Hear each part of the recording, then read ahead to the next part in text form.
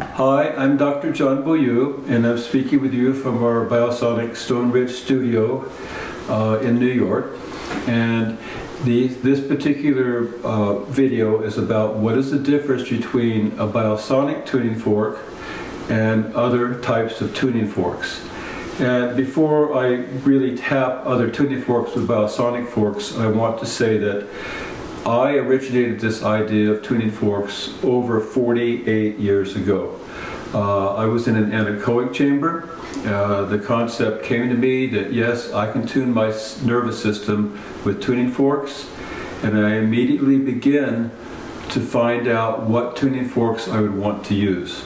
It became very clear to me from the beginning, and this became clear based on my training in music, also my understanding of the healing arts, that if we want to tune people, we're going to need overtones. Now an overtone is really simple. If you hear one sound, that one sound when the string vibrates or when the wind vibrates, it creates other tones. They're called overtones. So you listen to a C on a piano and you listen to a C on a flute or a C on a guitar, they're the same C, but they sound different in terms of tonality because they create different overtones or louder and softer. The overtone series also in mysticism was called the Stairway to Heaven. So this idea of a tuning fork that just has one tone, and most steel forks are really good just for one tone, that's not what I wanted. I wanted a tuning fork that you could tap, it would sound many tones based on one tone. So I just want to show you now uh, and it took me a, a, good number of years to convince tuning fork manufacturers to make a tuning fork that would create the overtones and ring the overtones series in a way that could be correct, loud, loud enough to last a good amount of time, and to create them so they could be more like musical instruments than tuning forks. And at the time, the idea of a tuning fork being a musical instrument was not even in people's consciousness.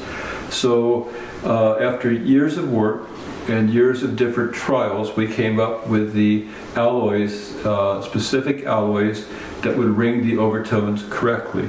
Uh, so I'm going to tap for you uh, our Biosonic C and G, and uh, when I tap it, you'll hear it ring.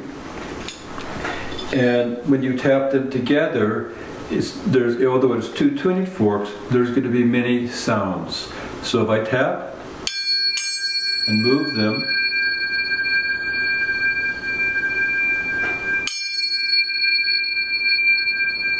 you can hear the ringing, and there's many overtones that are happening all at once. These, these could be measured on what's called an audio spectrometer.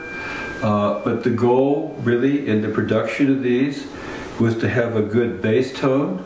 It's like the base of a fountain, that when the sounds came, they would, they would just make a lot of different sounds. And all of those overtones have different intervals, which really relate directly to how the human body grows and the Fibonacci series. And I want to really bring this out. That's what we call a biosonic tuning fork. I know that there are other tuning forks out there. I don't, I compare them the way I would different pianos, uh, meaning that one could have a Steinway or one could have an old upright or a cheap studio piano. Uh, and my goal was truly to make what I would call the Steinway of tuning forks. But here is another pair of tuning forks. I like to collect them. Uh, these came from uh, Pakistan and they're tuned to C and G just like the other tuning forks. You can see they're smaller, uh, they cost a lot less because they're easier to make, they have a softer alloy. And normally the people who come out with these have no concept whatsoever of the importance of the overtones. a lot of times they're even copying my descriptions, uh, so, or they're altering them slightly. So I'm going to tap these and just see if you can hear the difference.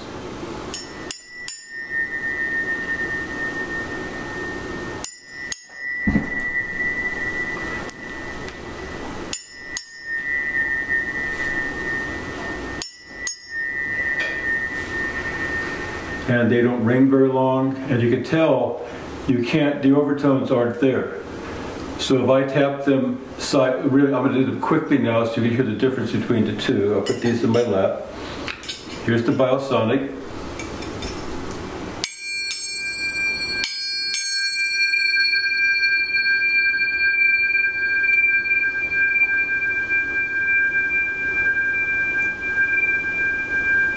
They're still going, they'll go a long time.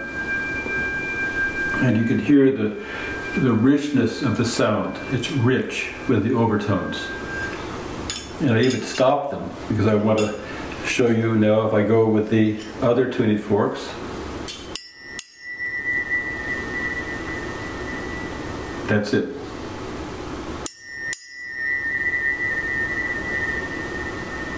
So you can really hear the difference. And normally speaking, like I said, there's a lot of different brands of tuning forks. Uh, some of them are really good, I mean, in terms of there being more like an upright piano or a baby grand. Uh, but again, I want the best. So I've worked for the last over 48 years to create what I, what I call the best tuning fork possible for human tuning. And that's what we call our biosonic tuning forks.